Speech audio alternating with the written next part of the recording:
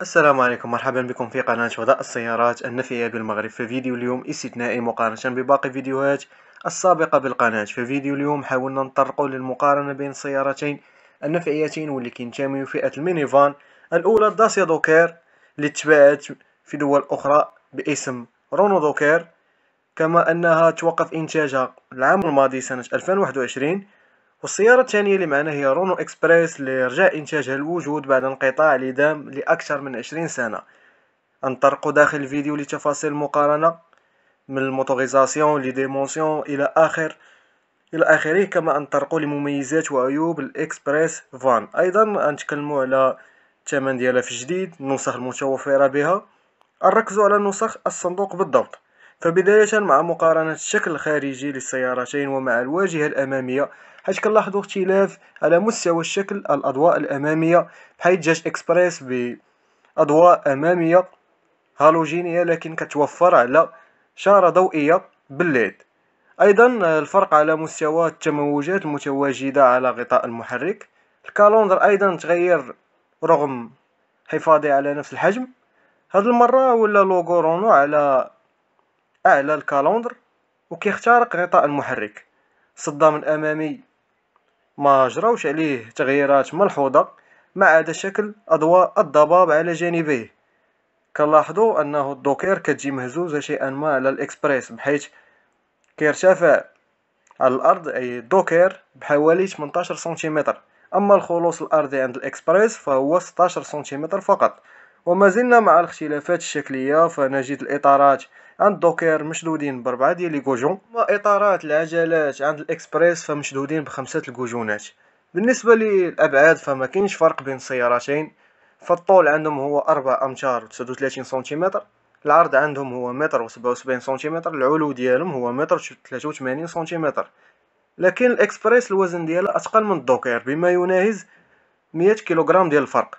بحيث سيارة الإكسبريس الوزن ديالها هو وثلاثمية وعشرين كيلوغرام أما وزن سيارة الدوكير هو ألف وميتين وخمسة كيلوغرام.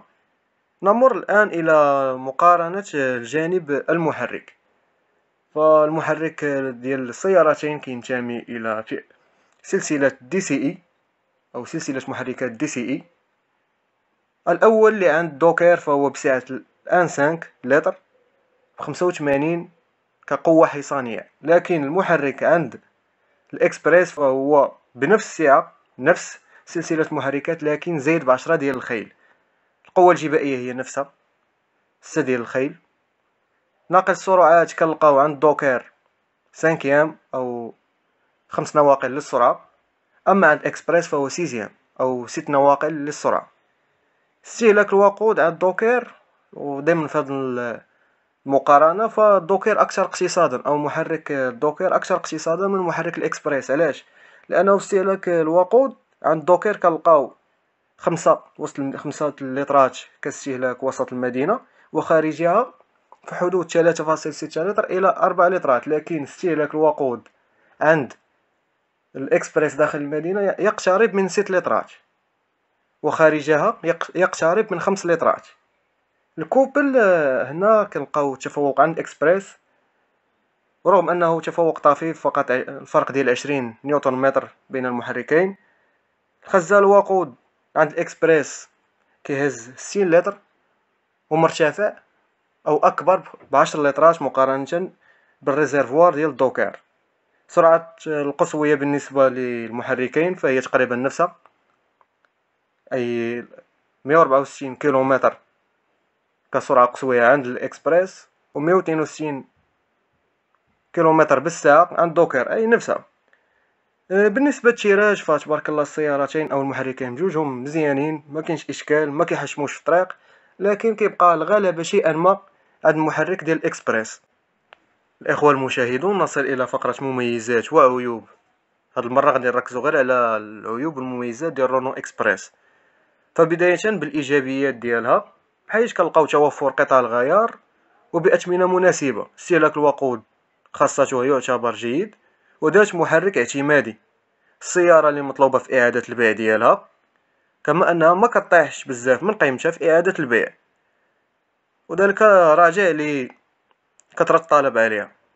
أما بالنسبة للعيوب أو السلبيات خاصتها فكنلقاو أنها بالرغم من أنها الأكثر مبيعا في فئتها وبالرغم من أنها السيارة الأكثر مبيعا عند الموزع رونو ببلادنا واللي تباع منها فقط في النصف الأول من السنة الجارية 2022 ما يناهز 6771 سيارة. لكن هذه كلها أمور لا تحقق خاصية القيمة مقابل السعر كما كانت تحققها الداسيا دوكار اللي كان ثمنها منخفض شيئا ما. أما بالنسبة ل كندوي على داسيا دوكار مني كانت في جديد أما حاليا راه توقف الإنتاج ديالها. أما بالنسبة للسيارة اللي كتنتج محليا دابا كنتكلموا على الإكسبريس واللي ثمنها كيبدا من 14 مليون سنتيم خارج مصاريف التسجيل. فلا يستوفي إلى حد ما قيمة أو خاصية القيمة مقابل السعر. نجد من بين العيوب واحد المشكل اللي غير معمم عند الجميع ملاك هاد السيارات هو سماع تصفار بخلف السيارة واللي غالبا كتسببو هاد الصوت عجلات الاحتياط. بالنسبة للنسخ المتوفرة بالفان أو الإكسبريس صندوق عندنا جوج نسخ الخاوية ال Life واللي عامرة ال Explore. نحاولوا نركزوا على الاختلافات بينهما.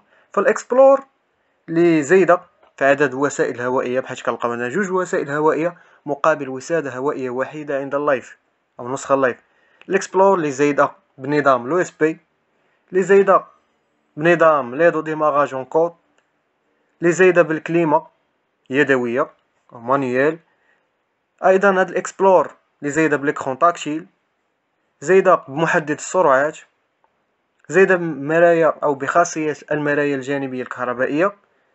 كذلك زايدة بال barres de toit أعلى أو بسقف الإكسبريس. بالنسبة للفرق بينهما أو بين هاد جوج نسخ كيتحدد في سبعة درهم ديال الفرق. مصاريف التسجيل تحدد في خمسة آلاف درهم وميتين وربعة وخمسين درهم. أما من أراد صباغة métallisée فالثمن ديال الصباغة métallisée تحدد في تسعين ألف ريال أو وبهذا نكون قد شارفنا على نهاية فيديو اليوم. مرحبا بآرائكم واقتراحاتكم بالتعليقات. كما أرحب بشدة بأسئلتكم. شكرا على اشتراككم بالقناة. دمتم في أمان الله وحفظه. سلام.